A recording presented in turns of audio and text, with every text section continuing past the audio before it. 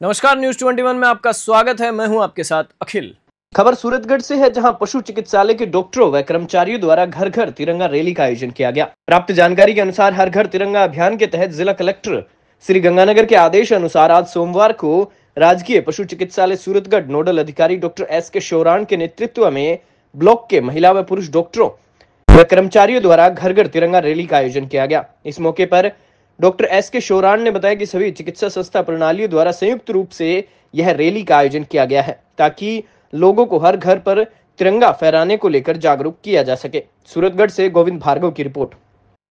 कैसे आपने क्या संदेश दिया? राज्य सरकार के आदेश अनुसार पशुपालन विभाग द्वारा नोडल सूरतगढ़ के द्वारा हर घर तिरंगा रैली निकाली गई जो बाज़ार के मुख्य द्वार से होते हुए और पशुपालन विभाग के ऑफ़िस तक लाई गई और कौन-कौन तिरंगा थे रैली से हर कर्मचारी ने शपथ लिया कि घर घर जाके तिरंगा फैलाएँगे और हर की दूसरों को कहेंगे तिरंगा फैलाने के लिए राष्ट्रीय आपके साथ में और कौन कौन है?